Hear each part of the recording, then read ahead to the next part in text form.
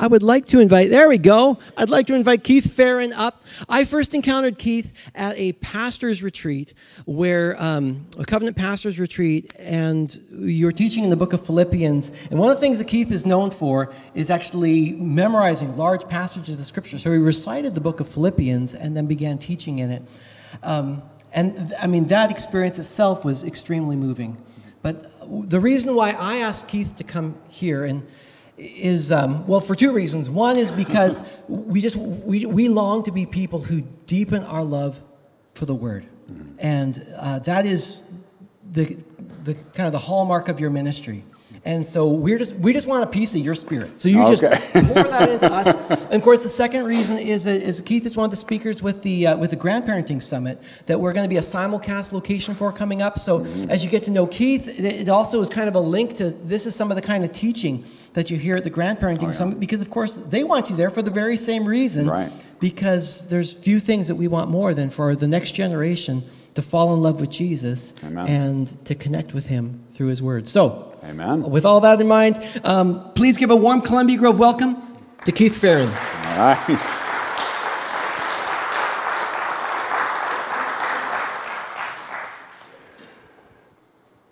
Hi. Everybody always says good morning and so formal and well, it is it was a beautiful drive over. My lovely wife Carrie came with me, got up early and we headed over from Kirkland this morning.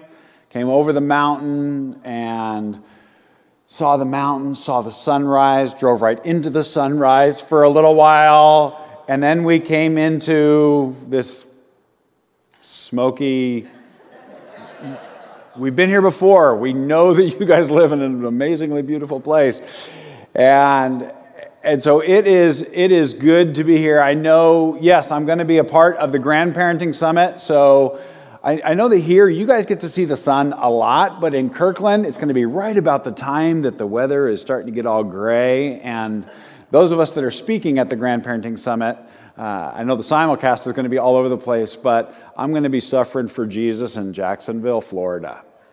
So, you know, pray for me. I'm going to have to go to Florida when it's gray in Seattle. And, uh, and, uh, and so that will be really, really fun. And I know that for a lot of your connection groups, you're going to be diving into the Gospel of Mark, starting right away and coming and discussing it. And so, I, I just am thrilled that Andrew invited me to come on, on this day because my desire, I've got a really, really simple but huge goal for this morning. That is the next time you read your Bible, I want you to like it more. Not just believe it better, not just trust it, not just apply it. All of that, yep, I want you to do that too. But I want you to enjoy it. I want you to like it more. Because I find that for most people who fill up our churches every weekend, the Bible is the one aspect of their life with Jesus that is more of a should than a want. Do, do you guys want to come and worship together? Do you want to be in community with other believers? Do you want to make a difference in your community and the world? Do you want to hear good preaching? Do you want to, all, we, we, and then some, sometimes I find for so many, this comes up in conversation, and we go, yeah, I should read that more. I should be more consistent. I should know it better after being around the church for 132 years. I should, you know, that for so many, the want of the conversation of our life of faith in Christ shifts to should. And I got, I got to tell you, that was me the first 25 years I was hanging out with Jesus. I believed that it was true. It was something that I grew up in the church. I was one of those kids born on Saturday, church on Sunday, and then spent a good part of my elementary school years in central Kansas at Salina First Covenant Church.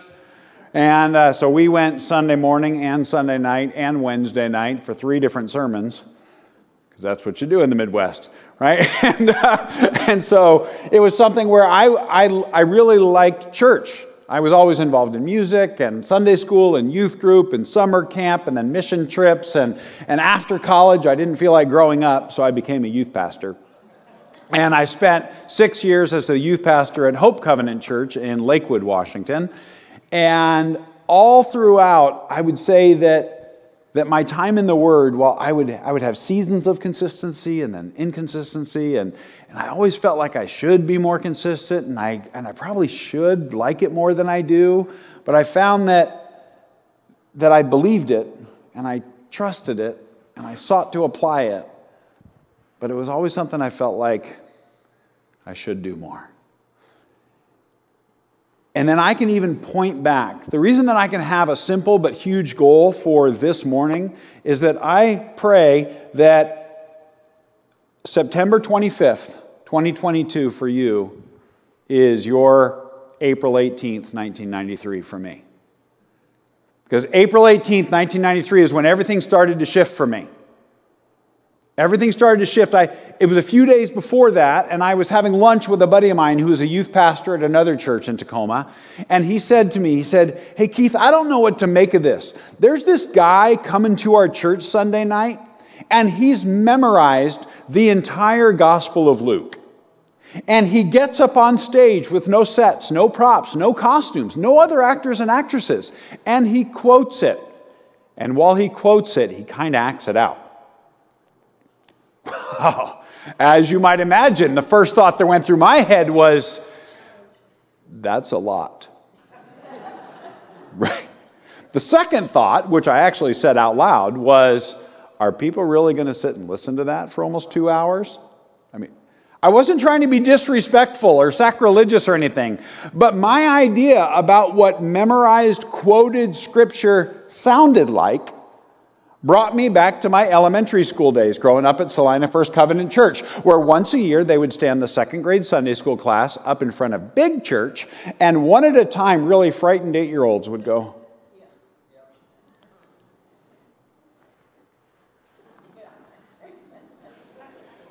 John 3.16, for God so loved the world that he gave his one and only Son, that whosoever believeth in him shall not perish but have eternal life. John 3.16.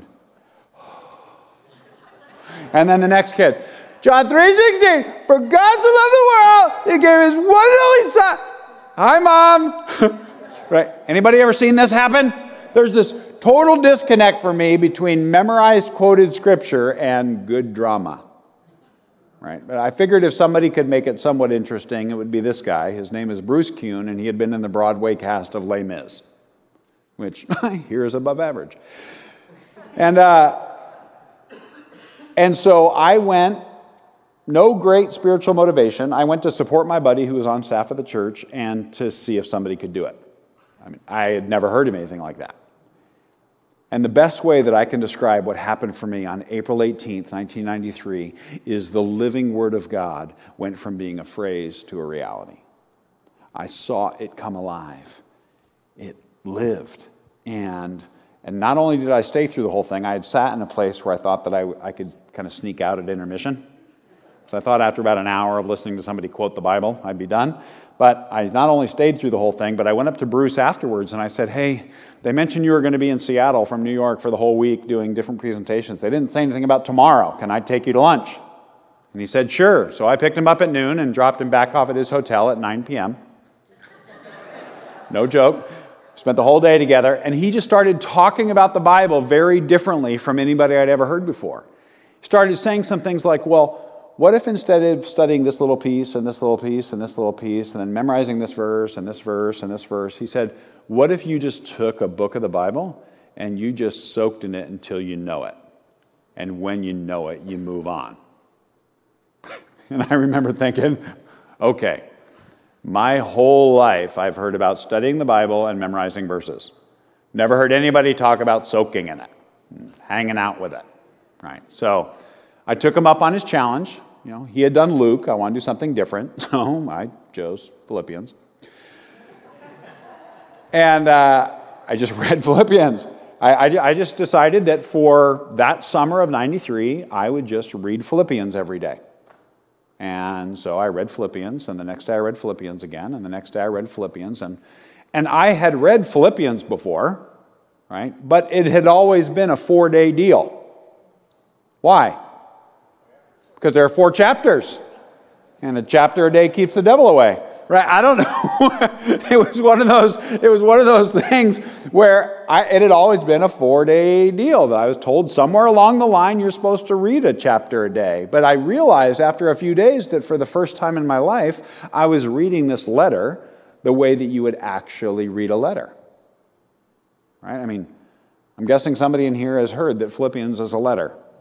Right? I, okay, so it's a letter from the from Paul to the church in Philippi. And let's say that you open up your mailbox tomorrow and there's a letter in it. Remember those?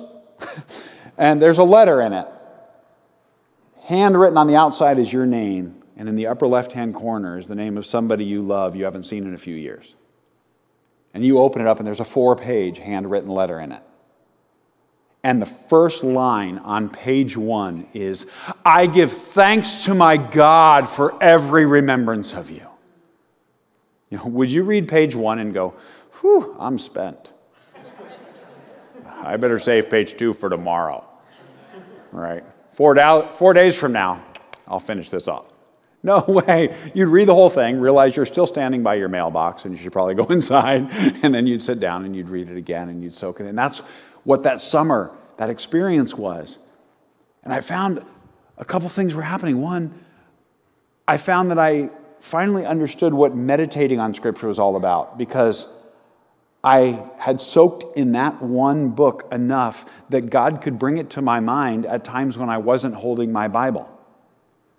Right? When I, because I, I, don't know about you, maybe it's just me, but the most difficult times for me to live out the truths that I find in here, it's typically not during my quiet time. That's not usually my time of greatest struggle. My time of greatest struggle is typically when I'm out in the world, right, dealing with these things called people. Right? That's when it gets tough. And I kind of need to have the, the truths, the encouragement, the challenge, the precepts, everything of Scripture. I need that to be in my mind at times other than when I'm actually reading my Bible, or it's going to be really hard for me to live it out.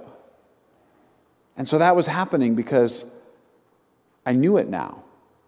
It was, it was something that, that as, I, as I read Philippians over and over, I was driving down the street one time and was thinking through Philippians, just thinking through it, and realized that as I was thinking through it and just kind of saying it out loud, I had gone about three paragraphs without making a mistake.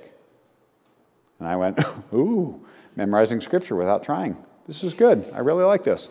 This is, you know, I had memorized scripture before, you know, I'd, but it was always really, really hard for me. Now, I persevered because there was usually candy involved. But, uh, but it was always hard, and I realized that I hadn't just memorized Philippians, I had internalized it.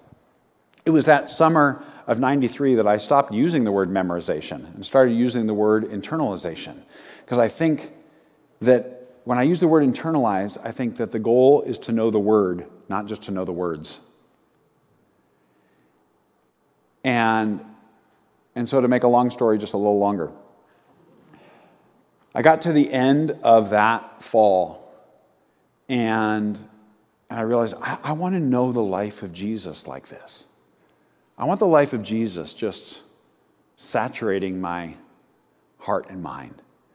And so in 94, I made one New Year's resolution, and that was to internalize the Gospel of John. I was just going to read the Gospel of John over and over again until I knew it.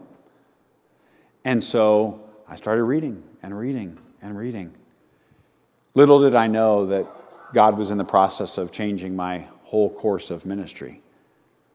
Because starting in 96, March 3rd of 1996 was the first time that I stood up on stage at what was then North Seattle Covenant Church, is now Shoreline Covenant Church, and presented the Gospel of John the way that Bruce had done with Luke three years earlier for me. And that launched what I've been doing for the last 26 years because I have to share Scripture. Because Scripture, when I, when I think about the Gospel of John, it no longer sounds like, in the beginning was the Word, and the Word was with God, and the Word was God. He was with God in the beginning. It doesn't sound like that anymore. It sounds a little bit more like, in the beginning was the Word. And the Word was with God, and the Word was God. He was with God in the beginning. Through him, all things were made. Without him, nothing was made that has been made. In him was life, and that life was the light of mankind. The light shines in the darkness, but the darkness has not overcome it. Now, there came a man who was sent from God. His name was John. He came as a witness to testify concerning that light, so that through him all people might believe. He himself was not the light, he testified only to the light. The true light that gives light to every person was coming into the world. He was in the world, and though the world was made through him, the world did not recognize him. He came to that which was his own, but his own did not receive him. Yet to all who received him, to those who believed in his name, he gave the right to become children of God. Children born not of natural descent, nor of human decision or a husband's will, but born of God. The Word became flesh, lived for a while among us. We have seen his glory, the glory of the one and only Son who came from the Father, full of grace and truth. John testifies concerning him. He cries out, saying, This was he of whom I said, The man who comes after me has surpassed me because he was before me. From the fullness of his grace, we have all received one blessing after another. For the law was given through Moses, grace and truth came through Jesus Christ. No one has ever seen God, but God, the one and only Son, who is at the Father's side, has made him known. Amen? Amen? First 18 verses of the Gospel of John. We could do the rest, but Andrew said I had 40 ish minutes instead of two hours, so I guess we'll, you know, move on.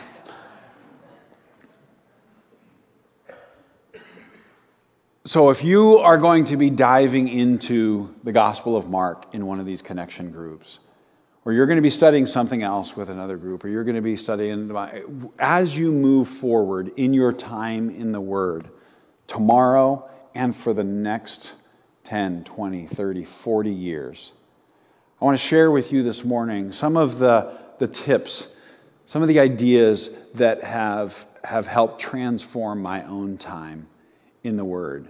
The first two are really kind of mindset, what, how we approach the Bible. Uh, and, and the rest are all what do we do when we actually have our Bibles in our hands?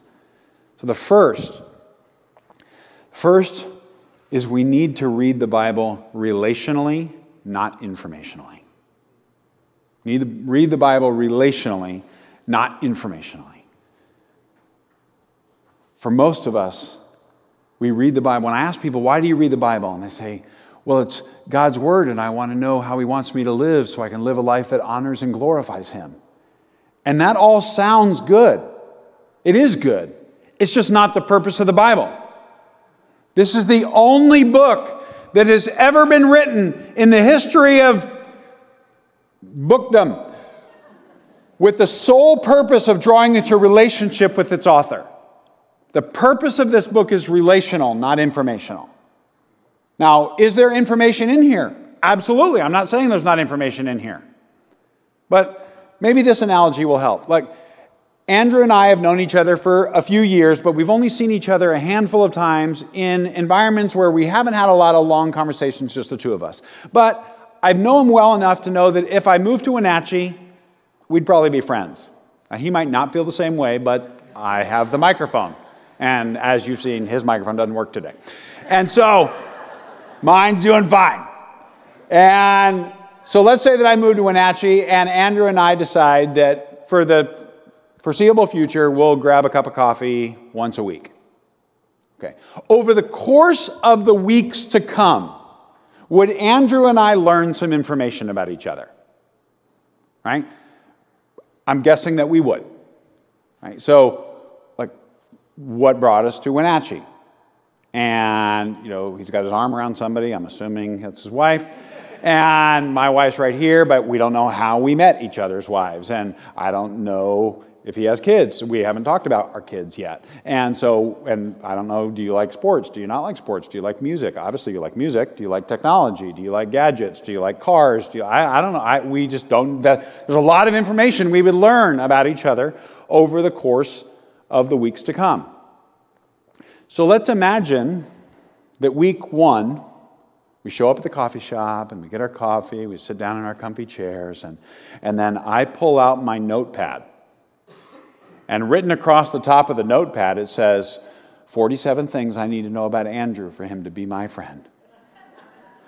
So, how did you meet your wife? Do you have any kids? How old are they? What brought you to Wenatchee? Are you a tech guy? Do you prefer playing guitar? Do you prefer playing piano? Did you start by singing? How did that whole music thing come about?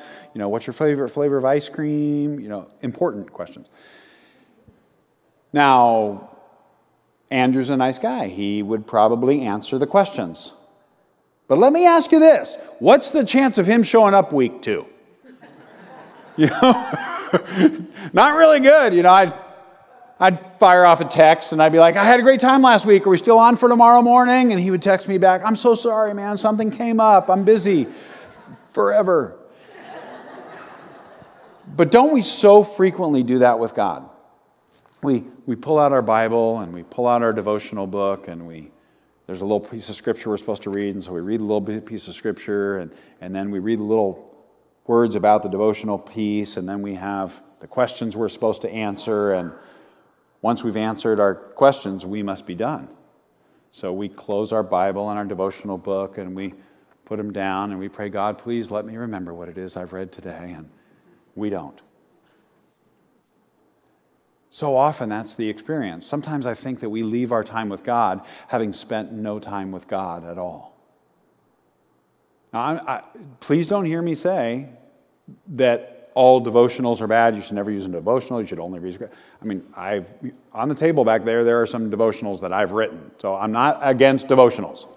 Uh, but when they become the check mark to do list of what our time with God is supposed to look like, and we've answered the questions, so we're done with our time with God, we're missing a huge part of what the Bible's supposed to be which is fostering this relational conversation in which we're hanging out with Jesus. I also think there was, there was also something that I heard my whole life that always was a little bit unsettling, and I didn't realize until maybe 15 years ago why, until I started reading the Bible relationally. And this, what I've heard, maybe some of you have heard this. Have you ever heard this? God has something to teach you every day. Have you heard that? It's not true. Some of you are like, so why did you invite this guy, Andrew? super uncomfortable right now. It's not, let me, let me ask you this.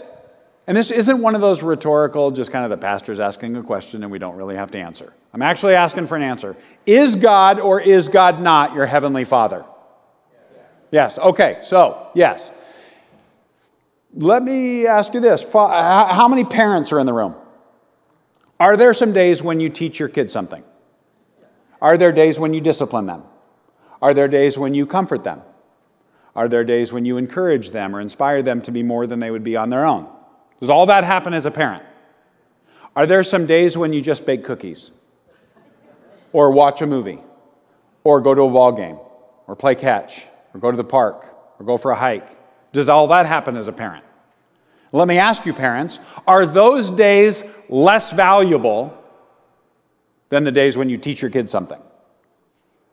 Wouldn't you actually say that those days are foundational to your kids receiving your instruction, receiving your comfort, receiving your discipline? Those days when we are in relationship. I believe that there are days when God wants you to read this and not learn anything. I think there are some days when He wants you to read this and just enjoy the read. Now, if you read this and He teaches you something, learn. If He corrects you on something, change.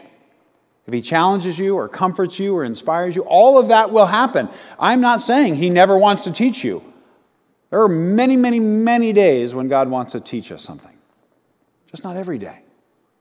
And sometimes I think when our approach to the Bible is if I come away from my time in the Word and I haven't identified the specific truth that I'm supposed to apply to my life and how I'm going to apply it, that somehow I've had a bad quiet time. I don't know. You had a friend that every single time you got together with them, they tried to teach you something, you'd be, it wouldn't be too long before you were making excuses not to hang out with them. And I think subtly some of that happens. God has much to teach us, much to correct us on, discipline us, all that. But some days I think He just wants to hang out with us. So we need to read the Bible relationally. It's the most important thing I'm going to say all morning. Second, is there anybody here who ever struggles with their mind wandering when they read the Bible? Anybody not like to raise their hand in public? Okay, I, I just know that, that other than finding a way to be consistent, have a consistent time in the Word, that's the number two most common problem people tell me about, is my mind wanders. And it's really, really frustrating because we can sit down and read a novel for two to three hours and completely ignore all responsibility.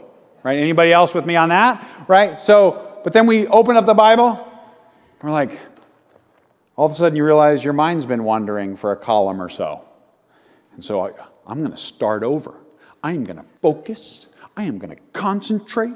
I am not going to have my squirrel, right? And then off we go. And we're, oh, it's so frustrating. And, and I found that this is something that even after I had internalized Philippians, I had internalized John, I knew how amazing God's word was, and I was starting to share that with people. Still on a daily, kind of regular basis, my the focus, it was just frustrating. And there, were, there was a day when not only could I not get a couple chapters in, I couldn't get a couple paragraphs in without my brain being all over the place.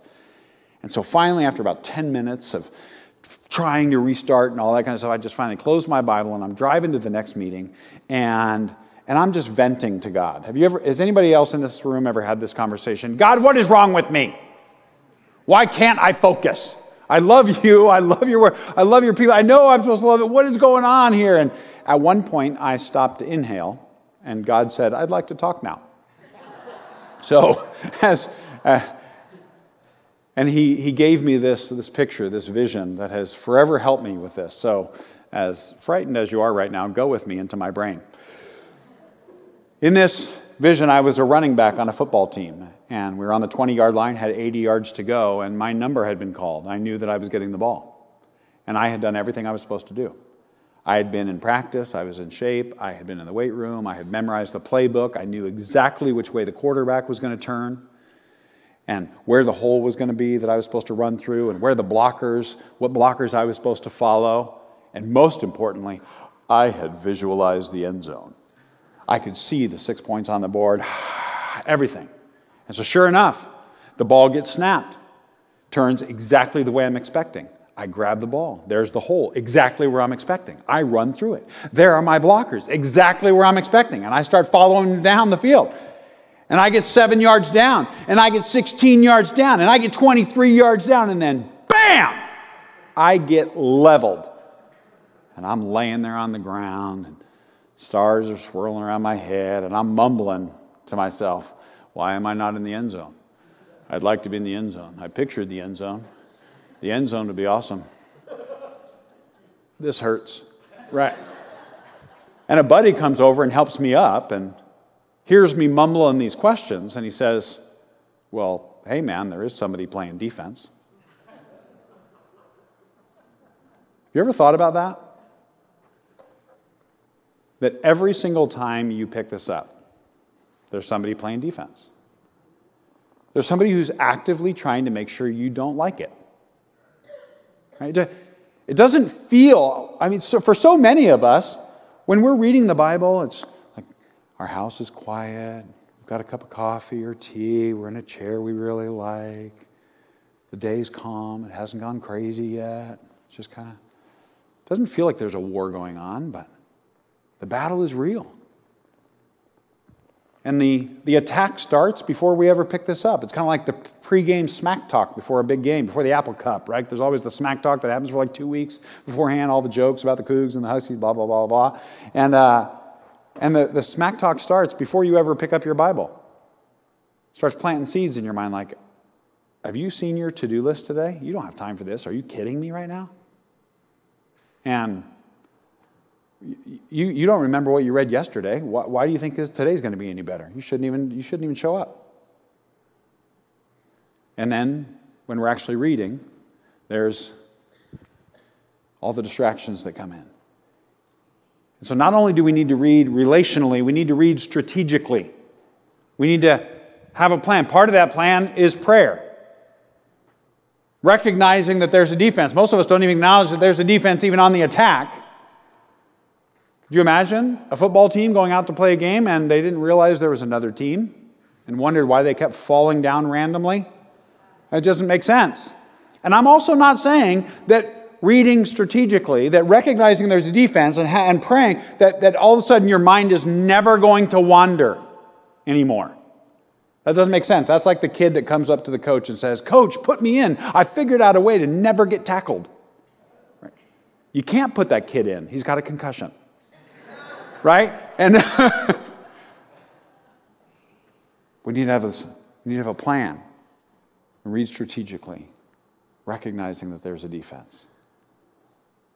Then moving from our mindset, our approach, our strategy, reading into, well, what do we do when we actually have our Bibles open?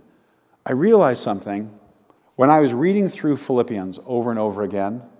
And then I was reading through the Gospel of John, and I was realizing I was enjoying it more than I ever had. I was remembering it more better than I ever had before. I was understanding it better than I ever had before. And I was like, what am I? I'm just reading it. What, why is this making more sense and being more fun? And I'm remembering it and carrying it with me. And I realized that for the first time in my life, I was reading the Bible the way that God has wired our brains to naturally and enjoyably learn anything, which is from the general to the specific. We naturally learn. I, I don't care what it is that you like to do. Think of any hobby that you like, whether you love the nitty gritty of the details of sports stuff, or whether you like cooking, or whether you like technology, or I don't care what hobby it is that you like, I'm guessing that you learned it from the general to the specific. Right? I love to cook, and I love to cook Italian food.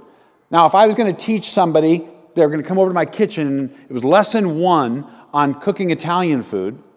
Lesson one would not be all of the uses for basil right? That wouldn't be like, if you're going to cook Italian food long term, you should probably know a thing or two about basil. It's just not lesson one, right?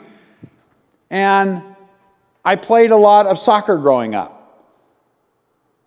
But if I was going to teach somebody about soccer, I wouldn't have the first lesson be here are the different times when you play a diamond defense versus a five man back versus a flat defense versus an arc defense, and here's why you play those. For most of you right now, I'm guessing that I just, for those 15 seconds, I sounded like the adults in a Charlie Brown cartoon.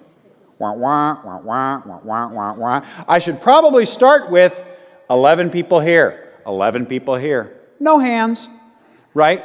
And then we can kind of break it down from there. Anybody like movies? Like anybody like twisty turny movies where you don't know who the good guy is or the bad guy is, and then in the last scene, it was the dog. Yeah, yeah. Uh, so let's say that after this is over, we all go get some sandwiches, and then we come back in and we put a movie up here. And at the end of scene one, I push pause and say, "Let's discuss." Okay, that was awkward. Play. Scene two. Pause. Discuss. Wouldn't that be awesome? We could just have, we could just go deep. No, it wouldn't take very long before a couple of you would be like, hey, weird man from the other side of the mountains, put the remote down. let's, let's, let's watch the movie. Now, after we've watched the movie, And we don't mind having a conversation about one scene, one character, one plot twist, the cinematography, the musical score. Fine, great. But let's watch the movie first. I think one of the big reasons why most people don't enjoy reading this is that we study this book like we're studying the scenes of a movie we've never watched. So let me ask you this. If you've heard this, I want you to raise your hand and keep your hand up in the air. You can go low if you want, but I want you to uh, keep your hand up in the air. If you've heard this, until I tell you to put it down, I want you to keep, put your hand up in the air. I have fought the good fight. I have finished the race. I have kept the faith. And now there is in store for me the crown of righteousness, which the Lord, the righteous judge, will award to me on that day. Okay, you've heard that before? Keep your hand up in the air if you can tell me what book of the Bible that's in. 2 Timothy. We know the scene. We've heard sermons on it. We've seen it written on encouraging cards. We've seen it quoted in books. But if you took 2 Timothy, a book that would take you a whopping 12 minutes to read. Yeah, it's four chapters, but it's actually shorter than Philippians and take you about 12 minutes if you're reading out loud at a normal rate of speed. Philippians, I mean, 2 Timothy is going to take you about 12, maybe 13 minutes to read. If you took 2 Timothy and you read it every day for the next month, and I know you're going to be reading Mark, so do this in the spring. But if you took 2 Timothy and you read it every day for the next month, you would never read, I have fought the good fight, I have finished the race, I have kept the faith the same ever again. 2 Timothy is Yes, it's part of Paul's letters, but you realize that every single time you read 2 Timothy, you're eavesdropping. 2 Timothy, in Paul's mind, wasn't written for you. Paul wasn't writing that to the church in Philippi or the churches in Galatia. He was writing it to Timothy, my dear son. Now, obviously, God, in his sovereignty, was doing something miraculous. And Timothy ended up sharing it, and we now have it.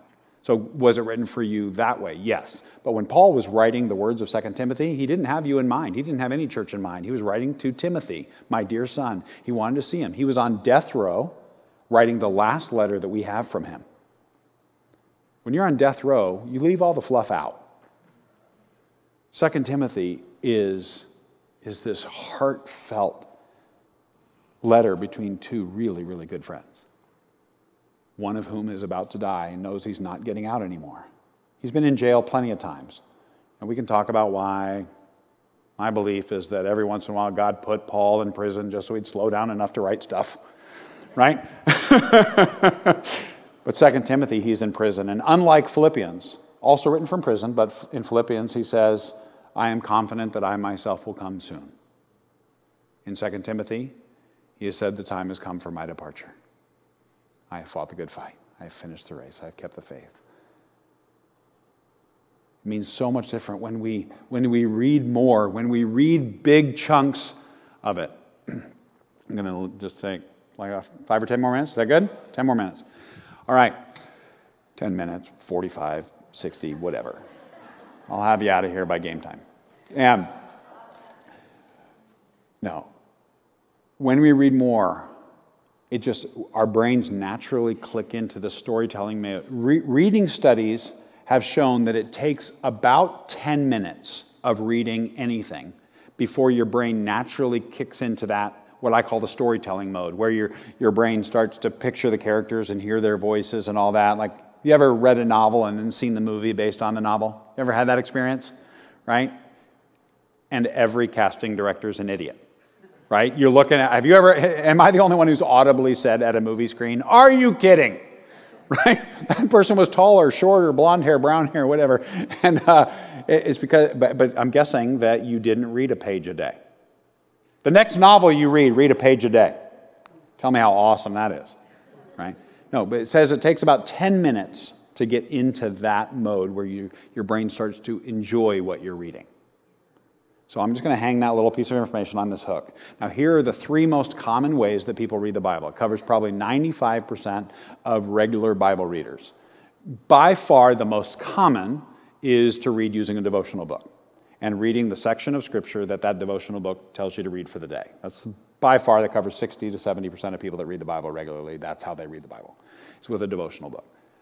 The average section of Scripture in a devotional book will take you between 30 and 60 seconds to read. The actual Scripture portion of your reading for the day, 30 to 60 seconds. Second most common is the way that I was raised, which is the chapter a day method. You're supposed to read a chapter a day, work your way through Paul's letter, or work your way through one of the Gospels or something. Read a chapter a day. The average chapter of Scripture read out loud at a normal rate of speed will take 30 seconds either side of four minutes. About four minutes to read. Third most common, for people who want a really, really big Bible reading challenge, they read the Bible in a year, right? Who here has started that? Right? Second week of February is always brutal, right? That's when most people quit.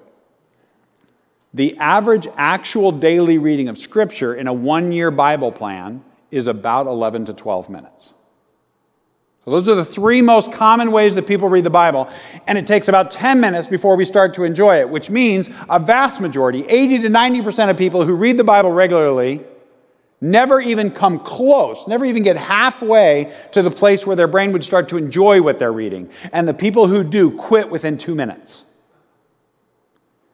So I'm not talking about from believing it, trusting it, applying it, seeing it as unique, valuing it. I'm not talking about that. I'm talking about from an enjoying the Bible standpoint.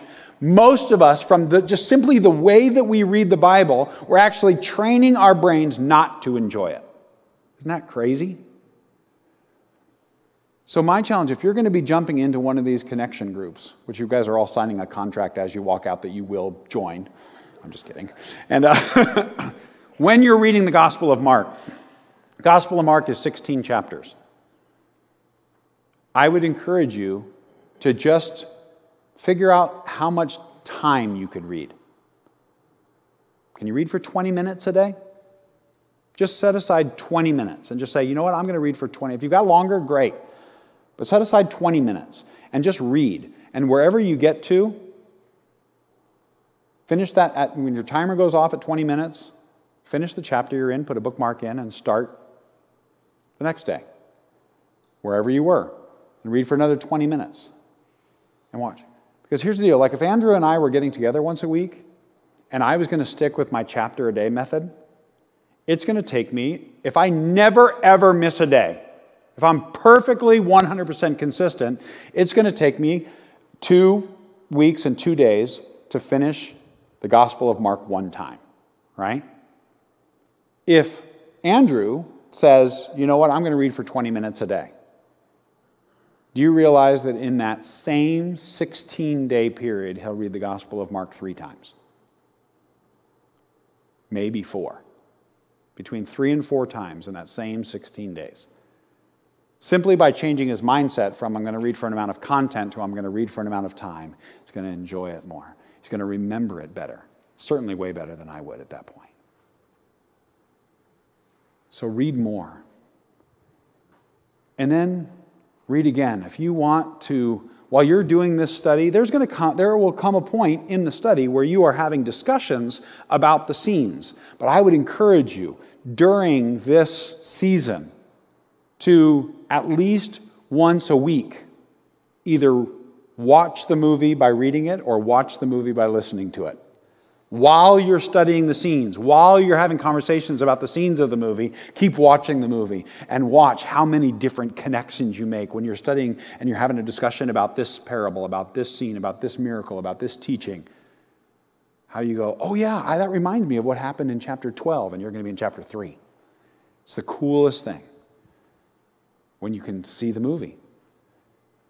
And that happens when we read not only more of it, but when we read again when we stay in something and we read repetitiously. You've heard this before repetition is the mother of all learning. The beautiful thing about repetition is it works to trigger our memory without us having to do anything else. when we look, I mean, how many of you have ever been driving down the street and you hear a song come on the radio you haven't heard in 20 years? And you sing, you're singing along by line two, right? It's not because you sat down and you ever tried to memorize that song. It was just on the radio over and over again. And you started singing along with the chorus, and then you started singing along, and you realized at one point you knew the whole thing and you were just singing along with it. And it just cements in our brain. How many of you, you know, you have uh, like songs from your kids and grandkids, like little TV shows? Like, how many of you have Veggie Tale songs in your head you wish would go away? Right? You never tried to memorize them? But they were just on all the time. And so read more and read again. And early on, I would, I would encourage you, last two little points. Does anybody here have a study Bible with more notes on the page than actual scripture? Right, you've got maps and charts and graphs and outlines and all those kinds of things. I love my study Bibles, but my encouragement to you when you're first starting in the Gospel of Mark or whatever it is that you're going to be studying, when you're first starting in there, read alone. Leave your study Bible on the side and grab a Bible. It doesn't. I, you might be able to read using your study Bible and just read the Scripture. I can't. I'm a, I'm a ping pong reader. Here's how you know if you're a ping pong reader. When you're reading in your study Bible and you see a bold letter A, do you feel a moral obligation to go down to the bottom read what it actually says, then go back up to the pong, back up to the top, read. There's a B, ping down to the bottom, pong, back up to the top, read. so, so for me, I had to buy a Bible with no notes because I know that I can't do it. And so early on, when it's time to just watch the movie, early on, for the first two, three weeks, four weeks maybe, of your study of Mark, I just encourage you to soak in the Word. Just be with God and His Word, and then discuss with other people, which is my final point. Yes, you need to read alone, but whatever you do, don't read alone. If you want to truly enjoy God's word, we need to be having conversations about it. Anything that you talk about, you get more interested in. Right? Those of you that are going to watch the Seahawks game this afternoon, some of you are going to watch it with friends, and that's super fun. Some of you will watch it on your own, but could you imagine your only experience with watching the Seahawks was you had to watch it alone, and you could never have a friend over or a family member. You're only on your own, and you couldn't ever talk about it with anybody. You couldn't tell anyone tomorrow why you are a better coach than Pete Carroll. Because I know some of you are having that conversation tomorrow, right? You can't ever talk about it. Oh, and by the way, so that it's really just your own time watching the game, you have to have it on mute the whole time. Because it's just got to be your experience. For most people, that's their experience in the Bible. They read the Bible on their own, by themselves, and never talk about it with anybody. But whatever we talk about, we get more interested in. So if you want to move from should to want when it comes to reading and studying the Bible, I encourage you, implore you, I beg of you, read the Bible relationally, not just informationally. Read the Bible strategically. Read more of it. Read it again. Read alone. Whatever you do, don't read alone. Amen? Father God, I thank you for today. I thank you for Columbia Grove Covenant Church, for the people in this room and who are watching online and are investing in this community. God, I pray for each person here that the next time we pick up your word, we would meet you relationally. We would start to enjoy God's word more and more and more as we get to know and fall more deeply in love with you, the author. In the beautiful name of Jesus, we pray. Amen.